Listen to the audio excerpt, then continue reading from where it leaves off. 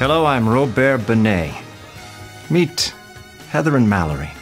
They believe their friend Jessica may not be the friend she should be. She says she's on this diet with us. But then we catch her like this. We always see her eating these big portions. Makes no sense. Let's go.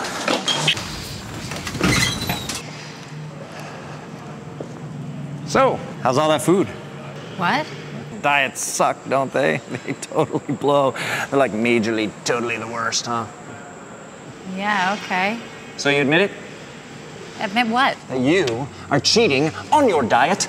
Girls, get in here. Okay, what is going on? I'm... Looks like we caught a cheater. Excuse me, excuse me. You need to sign in. It's very inconvenient. Oh, come on. Camera is you? Okay, let's go. Ready? How could you, Jessica? Okay, what is going I am not cheating on my diet. They're just vegetables, you guys. Th- Who are you? Just a normal guy. Going to a, um, a normal guy Pilates class. Totally normal. In that? I was gonna take the jacket off. Wow. What? Oh, no, nothing, nothing. Well, That's right. Jessica, Heather, and Mallory have moved on to establishing trust as a team.